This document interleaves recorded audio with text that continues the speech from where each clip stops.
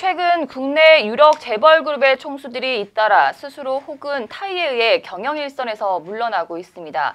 일각에서는 재계의 변화의 바람이 불고 있다는 분석이 나오고 있습니다.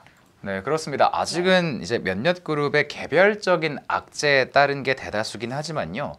과거와 같은 제왕적인 재벌 총수 시대는 이제 종언을 구하는 게 아니냐 이런 좀 어, 이른 관측도 나오고 있는 게 사실입니다. 네, 이 개별 악재라면 역시 이 조양호 한진그룹 이 회장에 대한 이 항공 경영권 박탈을 말하는 거겠죠. 아무래도 네. 그렇겠죠. 지난 27일 대한항공 주주총회에서 어, 사내이사 재선임안이 부결되면서 조 회장은 대표이사로서 이제 경영권을 박탈당했습니다.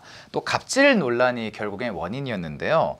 또 어제는 금호 아시아나 그룹의 박삼구 회장 이 아시아나항공의 감사 보고서 문제 등에 이제 대한 책임을 지고 전격적으로 사퇴 결단을 내린 상태입니다. 네. 근데 이런 사례들만 놓고 봤을 때는 이 제왕적 총수 시대의 종언이라기보다는 그냥 좀 오너 리스크에 대한 책임을 지는 느낌인데요. 어, 그렇습니다. 하지만 스스로 경영권을 내려놓는 경우도 나오고 있어서 그런 관측이 나오고 있는 겁니다.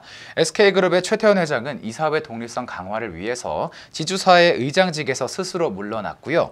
또 효성그룹도 어, 조현준 회장이 이제 지난해 3월 그룹의 지배구조 개선을 위해서 지주사 이사회 의장에서 물러났습니다.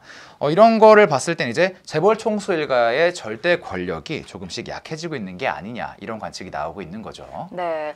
이- 하지만 이 한국 재벌 문화의 틀이 좀 바뀌고 있다고 보기에는 아직까지 좀 무리가 아닌가 싶습니다. 네, 사실 많은 분들이 아시겠지만요. 여전히 그룹 경영에서 총수 일가가 물러났다고 표면상으로 말을 하더라도 네. 어, 영향력이 절대적입니다. 그리고 퇴진 이후에도 이제 일정 기간 과도기를 거쳐서 결국 자신의 이제 아들, 딸 2세에게 경영권 승계를 할 것이라는 분석이 나오고 있죠.